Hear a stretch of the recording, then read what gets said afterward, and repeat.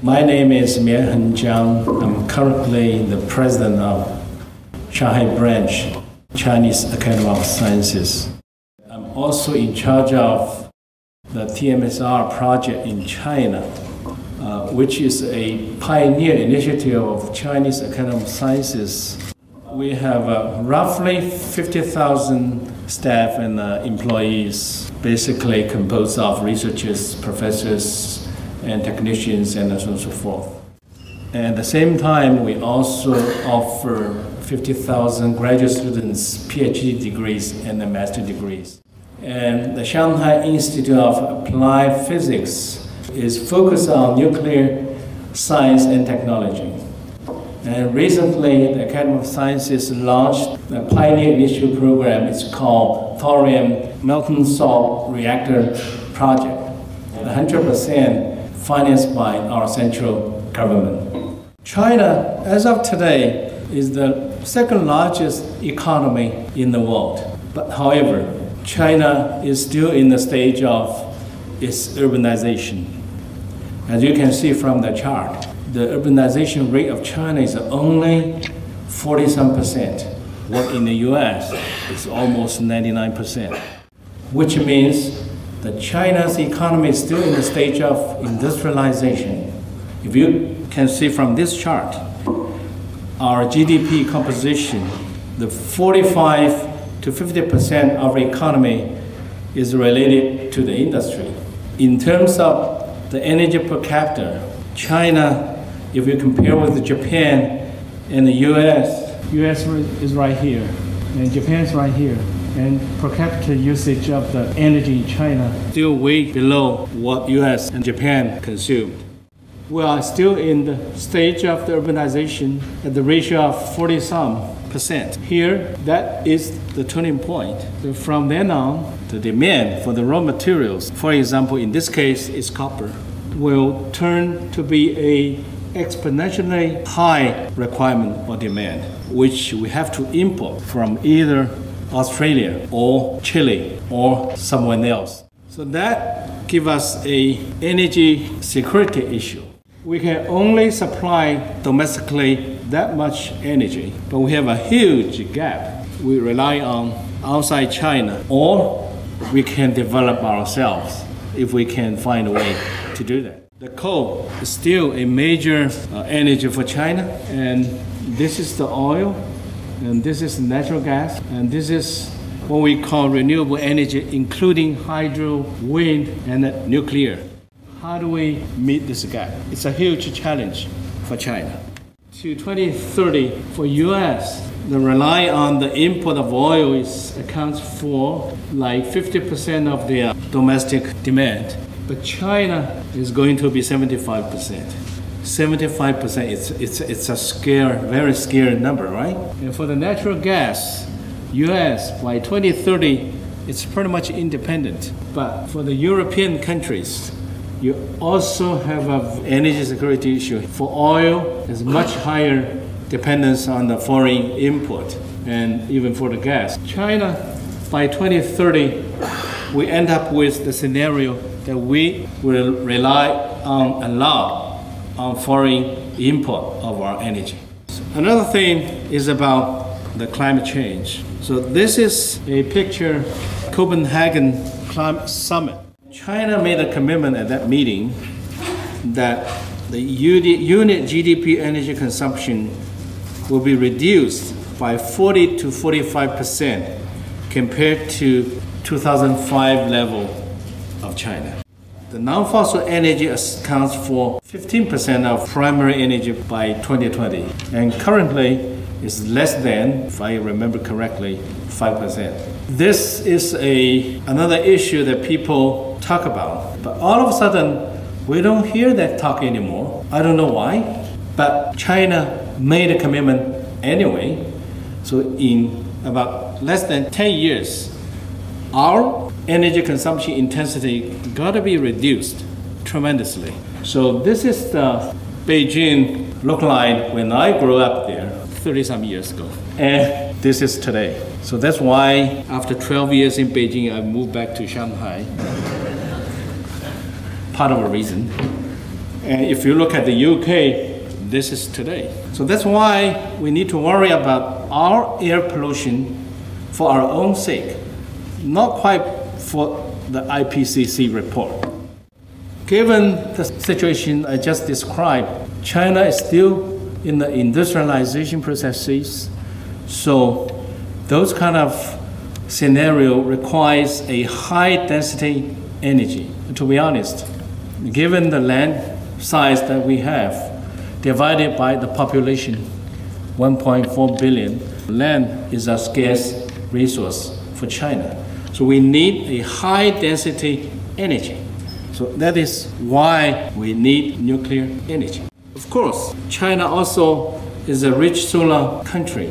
Most of them in the west part of China, in that area, we have a lot desert, which growing nothing but sunshine. Probably we can turn that area into a, a solar factory. They've been talking about the AP1000 back in 2005. The technology was developed by Westinghouse, at that time a US company, and later on changed the owner to Toshiba Japan. And when China and Westinghouse was negotiating, was talking about the deployment of the AP1000, there is no one in the US deploy that technology. I was visiting the DOE at that time. I actually was asking a specific question why US did not apply this technology in the US? The answer was Vegas. But to the end, China actually signed a contract with Westinghouse in 2007. And uh, recently, US also approved another four units of AP1000 in Georgia State. That's the new nuclear power station project ever been approved since Three Miles accident, so which is a good sign. As I said previously, China made a commitment by 2020 the renewable energy has accounts for 15% of the primary energy. How do we do that? I think one of the major action, now we talk about the action, the Chinese government has taken is to have a more nuclear power station installment in China. So by 2020, we are supposed to have a 70 gigawatts. Currently, we have a 10 gigawatts. And here, just in this single site, we'll have a six units of 1.25 gigawatts uh, nuclear power station. So then the white auditorium. I better leave this topic with the conference. But at least I think China has the second largest reserve. In addition to that, the nuclear fuel cycle I quote this from a well known paper here. I personally think that there is still an argument about whether thorium can be burned that clean. Again, I will leave this with the conference. And why MSR? This is the chart given by uh, US colleagues. The advantage of this is, is clear. We not only have a, a low pressure here, which gives you more safety we also end up with the high cool, cooling temperature here. And as far as energy is concerned, we need high temperature because nuclear power station not only generate uh, electricity, but we also can take advantage of the high temperature. If you can go as high as 900 degrees C or even higher, then we can use this energy to produce the hydrogen. Once we have the hydrogen, then we can convert the CO2, which is not the waste at all. It's a raw material for our chemicals, in fact, if we can collect them. But we need the high temperature. In general, we need the energy to convert them. So that's what we call the hybrid energy system. We've already done many pilot projects, and some of them are already industrialized. For example, the coal to liquid fuel project those are not just a pilot plant, it's an industrialized scale. And the technology and the catalysts are all developed by the Chinese Academy of Sciences. Once we have the electricity generated by the nuclear power station, which is clean, then we hope that we can drive the car by electricity. Uh, I'm sure some of you have already seen this. In 1994, the state of California passed the law of the zero emissions. And GM's EV1 came out in 1996 because they want very much like to catch the market of the California.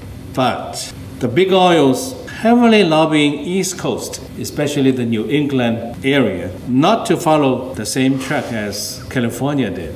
The big oil was successfully doing that. So finally, GM called back all the EV1s from the market and crashed them in 2004. It's, it's something to me like World War II NATS. It's amazing. It's, it's very scary story here. And what happened in China? We used to have a dream if we can produce a clean electricity, then we can drive our electrical car. Here is the total carbon fiber EV.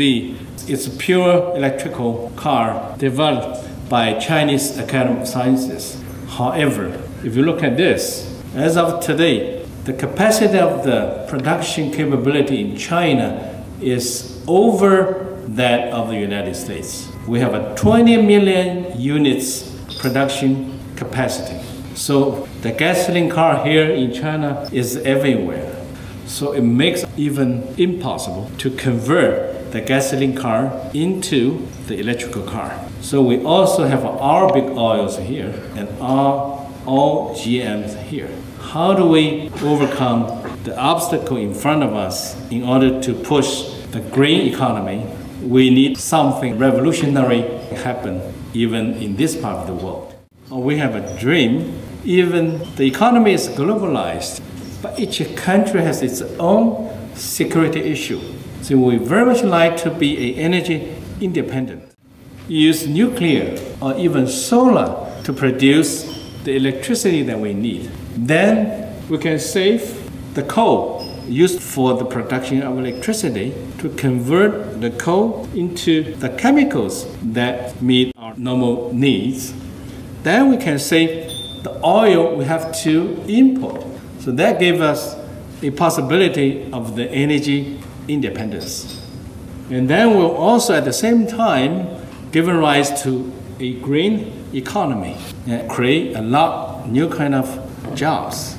For example, if we can convert all the gasoline car into a EV cars, the cover of the car not to use stainless steel but carbon fibers, then we can reduce tremendously the quantity of the input of the raw materials. And another driving force will be high speed train. If we can build up a network of the high speed train nationwide, I mean, this kind of transition can in fact change the structure of the economy. And at the same time, will create more jobs for sure. We need that.